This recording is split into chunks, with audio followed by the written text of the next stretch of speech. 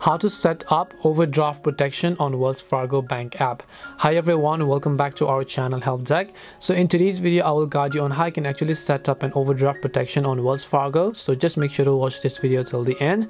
In order to set up an overdraft protection on the Wells Fargo mobile app, all you have to do is just go ahead and launch the Wells Fargo mobile application first, then log into your mobile banking account as you would normally do.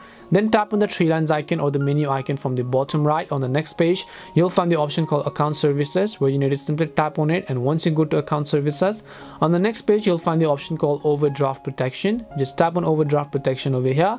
Once you tap on that option, basically you can see all this information, but you need to scroll down and then just tap on add or change button. Once you tap on add or change, basically you have to select the account that is actually receiving the protection. Once you select the account that is receiving the protection, tap on continue and then select the account which is the source of the protection which is the first source of course. And after you select your first source of protection again tap and continue. Now if you want though you can add a second source of protection but that is optional if you have the primary one.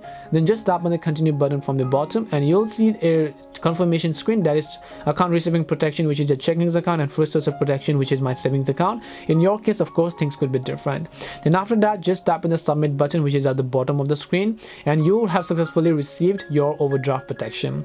That's all it takes to set up your overdraft protection on Wells Fargo Mobile. We hope the video was really helpful and if it did help you though, make sure to leave a like and subscribe to the channel and if you have got any questions, feel free to also leave them down. Thank you very much for watching till the end and see you in the next video.